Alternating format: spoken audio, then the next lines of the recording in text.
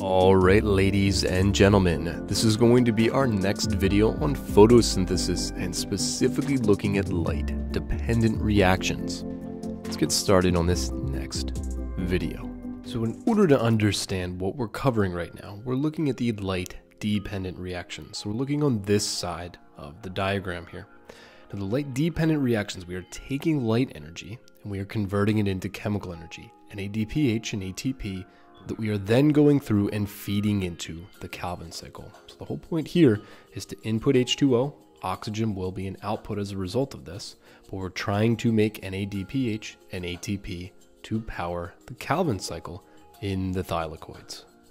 So what we're going to look at here is the electron transport chain for the light dependent reactions. There's a couple of things that we need to know when going through and understanding this. We're going to have a hydrogen ion gradient and we're going to have a couple key proteins that we need to look at. We have photosystem 2, we have photosystem 1 here. We have each of the carrier proteins associated with this, and we have ATP synthase. And our goal here is, is to get ATP synthase to produce ATP. So let's run through this and see how it works as we get light energy that's going to first go through and excite our chlorophyll pigment. Inside photosystem 2 and photosystem 1, we have chlorophyll pigment. And what that chlorophyll pigment's going to do is it's going to capture light energy and it's going to excite our electrons. Those excited electrons, remember, when they are excited, are going to release energy. And as they move down the electron transport chain, and as our carrier proteins function here, what we're going to see is we're again trying to create that hydrogen ion gradient and a gradient that's going to enable ATP synthase to function. So as those electrons move down the electron transport chain, they're going to provide energy to pump these hydrogen ions against the concentration gradient or create a concentration gradient. They're going to then move into photosystem 1 where they're going to be again excited. So we're recharging those electrons. Once they're recharged, they're again going to move down the electron transport chain and provide those hydrogen ion energy to go through and be moved across into the stromal space here.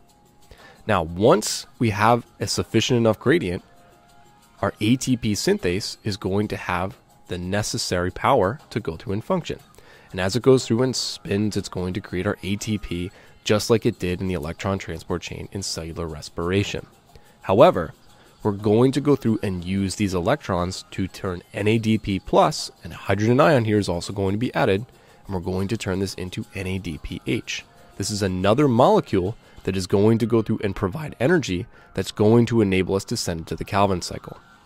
Now you might be asking me where did these electrons come from if they're going through and being added to NADPH? Well, they come via the splitting of water. I'm going to split a water molecule, take the electrons off of it. We're going to take a hydrogen ion off, which is going to provide again that hydrogen ion gradient. And the byproduct that I'm going to get from that is molecular oxygen. So what we can see here is now we have oxygen as a byproduct.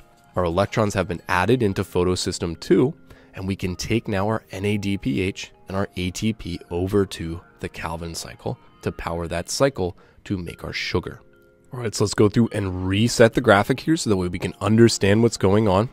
Remember, we're going to have light, which is going to excite that chlorophyll. When the chlorophyll goes through and captures that light energy, that is going to be transferred to excite our electrons here.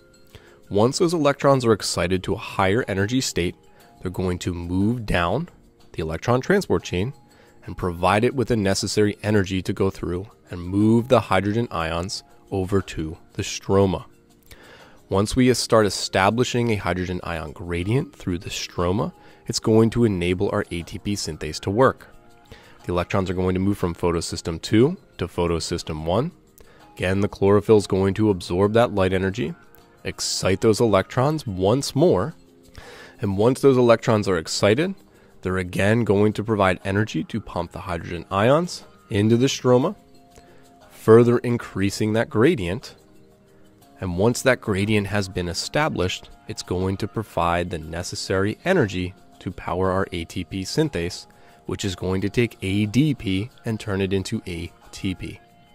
The electrons at the end of this are going to be added to NADP plus with a hydrogen ion to create NADPH, and water is then split at photosystem 2 to provide the electrons necessary for the electron transport chain to continue. What we see here is oxygen is a byproduct, and we continue to establish a hydrogen ion gradient. And lastly, NADPH and ATP go to power the Calvin cycle. All right, did you learn? Well, did you learn a couple of things? Did you learn about the light dependent reactions? Did you learn about the electron transport chain associated with the light dependent reactions? And did you learn about NADPH and NADP plus and where that is going and how that is influencing the Calvin cycle? This is going to be the end of the video. We'll see you all in class tomorrow.